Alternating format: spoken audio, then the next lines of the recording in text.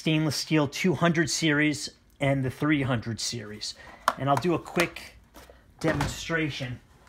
I like to lay it out on a sheet of paper. And here's two metals. And we'll make believe one of them is a 200 series and one is a 300 series. But you want to find out which one is which. I like to work on a piece of aluminum foil. I attach the electrospot to the foil. I'm going to clip on like that. So first I'll do the manganese test, and I'm I'm reading. I have my instruction manual right next to right next to me. Um, solution one, and some fiber test papers. So I put a fiber sheet on the metal, and a drop of solution one. 10 seconds, two, three, four, five, six, seven, eight, nine, ten. One, two, three, four, five, six, seven, eight, nine, ten. You estimate about the same amount of time for each metal. So, so the metal on the left here gave me a really bright pink spot. The metal on the right a little bit pink. It's more of a peach color. So I would say this one is positive, much more positive for manganese.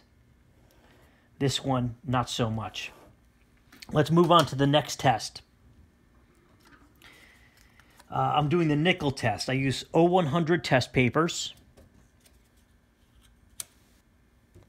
Solution number three. And only says one second according to the instruction manual. One second, one second.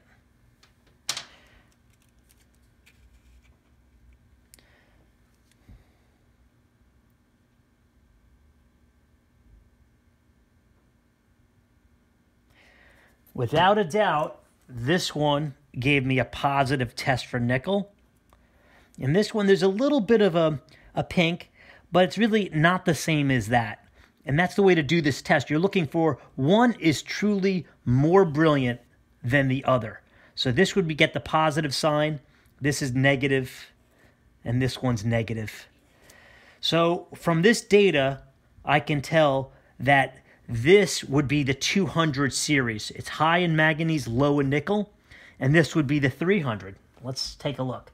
This is 200, and this is 300 because the 300 is very high, much higher in nickel, and the 200 is higher in manganese. And here's the proof. This one says 304 stainless steel, so I'm correct. Thank you for watching.